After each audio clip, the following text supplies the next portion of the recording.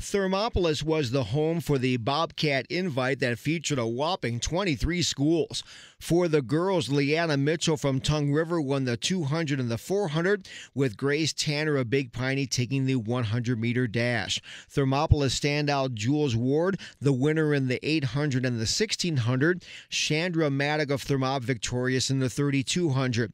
Over in the hurdle races, Vanessa Clark from Glenrock took the 100, and Grace Tanner from Big Piney won her second event of the meet taking the 300. Rocky Mountain won the 4x100 meter relay, Thermopolis the 4x4, and Kemmerer the 4x8.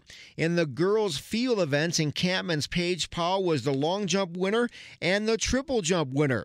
Lyman's McKinley Bradshaw had the best effort in the high jump. Burlington's Zariah Tolman took the pole vault, and she has been unbeatable in that event. Florina Villegas from Greybull won the shot, and the discus winner was Hanna's Haley Clark. Team wise, Big Pine first, Thermopolis second, and Lyman third.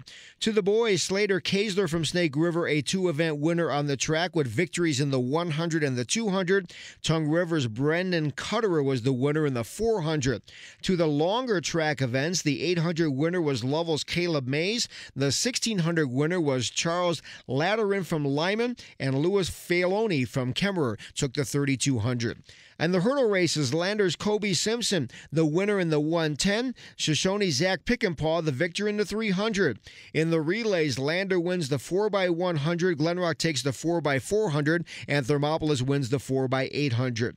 In the field events for the boys, Rocky Mountain had three winners Jonathan Allred in the high jump, Cole Simmons in the long jump, and Zach Zier in the discus. Glenrock's Chase Brooks took the triple jump. Landers Josh Tremblay first in the shot, and Cordy Bjork of Thermopolis wins the pole vault. Team wise, Lander takes first, Rocky Mountain second, and Glenrock third.